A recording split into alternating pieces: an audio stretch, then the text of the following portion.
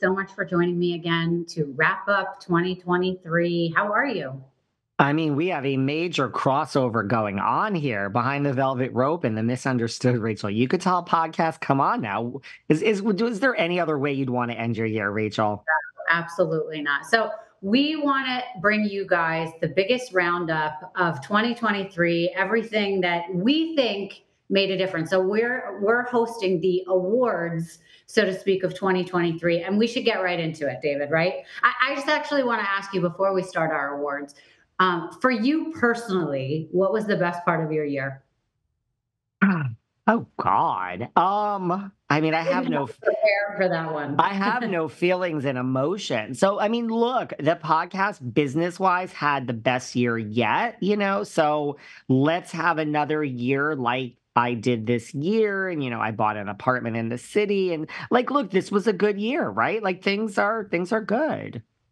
Yeah. I have no real complaints this year. And what about you? I mean, nothing major happened, but I bought an apartment in New York and I had a great year with the podcast. That's amazing. Well, to answer your question for me, I mean, I started my podcast this year. We started um, the very end of March, and we quickly became one of the top um, podcasts in the country, Canada, and Australia. And, you know, I'm so excited about that. I feel so thankful for all of our listeners who have, um, you know, believed in me and, and my guests. And, you know, so I'm just really, really thankful for that. And I'm really looking forward to the next year to see what else happens. And, you know, not to be shady, but my listeners have PTSD every time they hear a dog bark. So we welcome right. your dog. They are having a little PTSD here, my listeners, but we won't get into that. It's yeah. always nice to see you, Rachel. Look, Thank I got to be a little shady here. Come on. But congratulations and welcome to the podcast game. We're thrilled to have you. Thank you. Thank you very much. All right. Well, before one more thing, I wanted to uh, ask you about what was your favorite um, sponsor of the year. I know that um, as oh. as podcasters, we get to um, sample a lot of different sponsors. Do you have a couple that you thought were were your most exciting for you?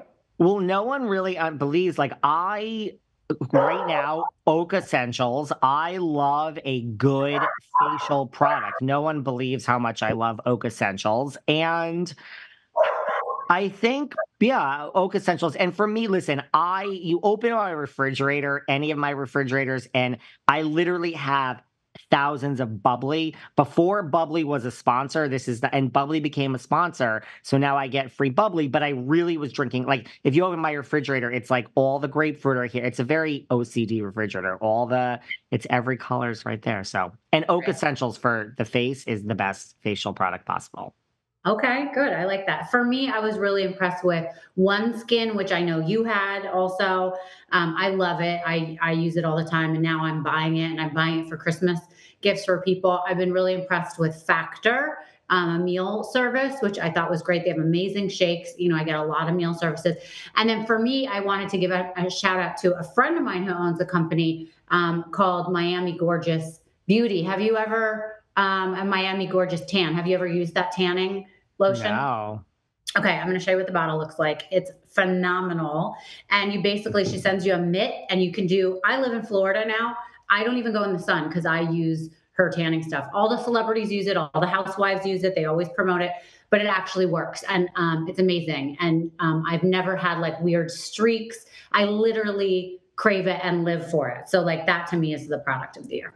And now you made me think of one more thing because you said clean and healthy living. AquaTrue water purifier. I'm really, believe it or not, I have a, a weird phobia of like drinking tap water. So AquaTrue, their filter, the osmosis process is bad. Really, it's like the cleanest filtration. It's I, I know you think this is crazy, but I'm excited by a water filter. Yes, AquaTrue. Okay. Amazing. And and my code for all my things is understood. What is your code if people want to order through you? The velvet. I tell people, whatever you're thinking you need, don't buy it. Just DM me because I got something for everybody. Exactly. Yeah. Honeylove. Okay, go on. We have yeah. awards to give out, sweetie. We do. We do. All right, let's get right into it. So, David, drum roll. Um, what do you think was the biggest comeback of 2023? And let's just say for people listening, this isn't just Bravo. This is pop culture, anything. My biggest comeback, I, I cannot help it. It is Bravo. Here I am saying that it, RHOSLC, Salt Lake City Housewives. The first season was great. The second season was good. The third season was one of the worst seasons in Housewives history.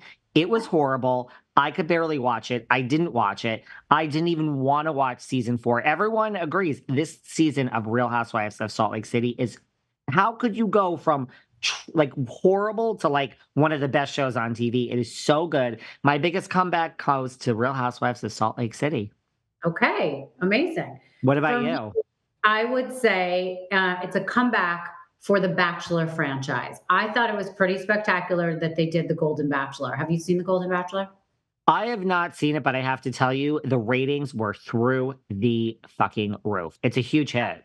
Yeah, it's a huge hit. I actually watched it. I watched it with my daughter, and she was like, Mom, you should be on this. And I'm like, um, I'm not 65, you know, like, come on. But I thought it was such a great idea to have someone who's older, who has lost a, a loved one, um, you know, to really see them find love. It really gave people hope. And I thought it was not only adorable, everyone was like, oh, it's so cute. It really, I mean, it was really romantic and loving. And it was just, I was rooting for the guy and I didn't I don't even watch The Bachelor, you know? So I thought since like, you know, season 1 or 2. So I thought it was a comeback for the franchise. I thought it was a great idea for them to do that. I hope they continue to do that. Um, and uh, I hope it continues to be a success. And I think Golden Bachelorette should be coming next. I think it's right around the corner. I feel yeah. it well, give you know, I'm going to be 50 in a year, so maybe they'll do, you know, I'm on their radar. let me let, let me submit your name. Now you do have competition because when she was on this podcast, Luann de Lesseps she would like to also be thrown into the mix. So between the two of you, let's I'm gonna back one of you. So okay, fine. There you go. Okay, number two, biggest downfall of 2023. I swear I have things on my list that are not Bravo. My biggest downfall is Bravo, Bethenny Frankel. I'm sorry. I'm so. Where is the reality reckoning? I think Bethenny is just confused. I don't dislike her. She's still so smart and like I have such a complicated relationship with Bethenny, but I just think she's throwing so like take your $120 million, which apparently you got from selling Skinnygirl, and go live your life. Why are you even trying? I think she's throwing so much stuff at the wall, and none of it is making sense. And where is the reality reckoning? We both had Mark Geragos on our podcast. We love him. Where where is it? Have you heard anything about the reality re- reckoning lately? I haven't.